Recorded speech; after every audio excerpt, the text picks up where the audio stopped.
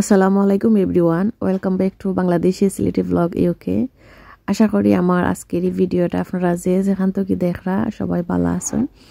আলহামদুলিল্লাহ, আমরাও ভালো আছি। তবে আমি একটু অসুস্থ আছি।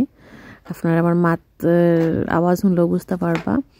তো একটু ঠান্ডা সর্দি, খাস সবটা মিলাইয়া।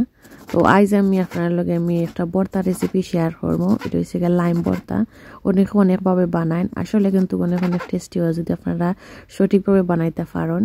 তো আমি গরুয়াভাবে লাইম বর্তা বানাইমো আর আজকে আপনার লগে একটাও শেয়ার করব।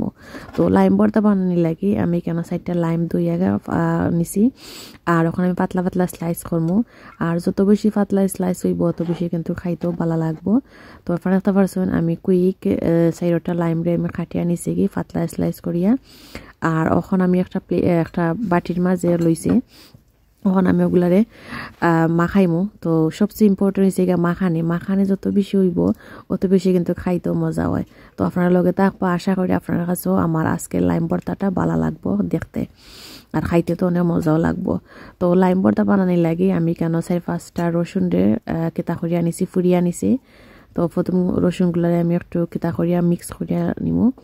আর এরপরে আমি এটার মাঝে অ্যাড করব হচ্ছে মরিচের পাউডার আর লবণ আমি মিক্স করিয়া রাখছি। তো আপনারা চাইলে কেন চিলি ফ্লেক্সও দিতে পারেন।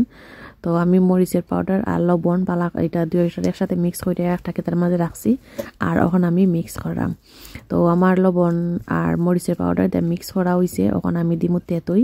তেতইটা আপনারা চাইলে যদি মনে করেন যে ঠেঙ্গা আরও দিতাস আপনারা চাইলে আরও দিতে পারবা। তো আমি মনে করছি অতটুকু হইব।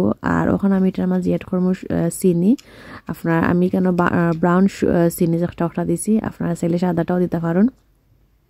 দেয়া ডিপেন্ড করে আপনার উপরে যে আপনারা মিষ্টি পালা পাইননি তো আমি টেঙ্গা আর মিষ্টি দুইটাও চাইলাম থাকতো যার কারণে আমি চিনিও দিছি প্লাস তেঁতুইও দিছি, লবণও দিছি, সবটাই মিলাইয়া। ওখানে আমি বালা করে খসলাই খসলাই লিমু। আর বর্তার মেন তো হয়েছে গিয়া যত বেশি আপনারা মাখাইবা অত বেশি কিন্তু খাইতেও মজা হয়। তো আপনারা দেখতে পারা আমি প্রথম ভাবছিলাম যে এতটুকু মরিচের পাউডার আর লবণ দিছিলাম কিন্তু ওইব পরে দেখলাম যে একটু কম হয়েছে তো পরে আমি যেগুলো রয়েছিল ওগুলো আমি এড করে লিছি আর ওখানে আমি বালা করে মিক্স করলাম আর এখানে এই পাটার মাঝে যদি আপনারা বালা করে মিক্স করুন, আপনারা বর্তটা কিন্তু অনেক অনেক মজা হইব। তো আমি প্রথম ট্রাই করে দেখলাম যে ওই চিনি, দেখলাম যে ওই গেছি তো পরে উপর থেকে একটু দুনিয়া পাতা দিলাইছি। আর রেডি হয়ে গেল গিয়ে লাইম বর্তা। গরুর আপনারা সেমভাবে বানাইয়া খাইতে পারবা। অনেক অনেক টেস্টি হয়। যারা খাইছেন তো যারা জানরা। আর যারা খাইছেন না, একবার হইল খাইয়া দেখবা। আসলে কিন্তু মুখের রুচি ফিরতায় যদি যারা তাপ সর্দি আছে, যদি আপনারা মুখের মাঝে খানি মজা লাগে না, আপনারা অবর্তাটা বানাইবা আর খাইয়া হইবা যেন কিলাহান হয়েছে তো ফাইনালি আমার লাইম বর্তাটা রেডি হয়ে গেছে কি আশা করি আপনার কাছে ভালো লাগছে। একদম ইজিভাবে গরুয়াভাবে আমি লাইম বর্তা বানাইছি আর একটু আপনার লগে আমি শেয়ার করছি। আর আইস খাইলা একটা জিনিস আপনারা সবাই জানেন যে যে কোনো জিনিস দিয়ে কিন্তু বর্তা বানানো যায়। তো আমিও সেম লাইম বর্তা বানাইছি। তো আশা করছি আমার আজকের ভিডিও আপনার কাছে ভালো লাগছে। তো আপনার সকল ভালো থাকবা। আল্লাহ হাফিজ। আসসালামু আলাইকুম। আর হে খারা খার লাইম বর্তা দিকে জিফ্রের মাঝে ফাইনাইছে কমেন্ট বক্স কমেন্ট করে জানাইবা। ওকে আল্লাহ হাফিজ। বাই